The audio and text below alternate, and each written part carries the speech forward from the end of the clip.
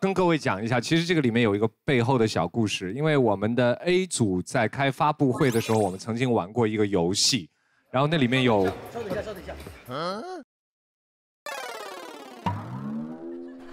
啊，王不能倒啊！哦，他本来不是不倒的吗？呃，我明白你的意思。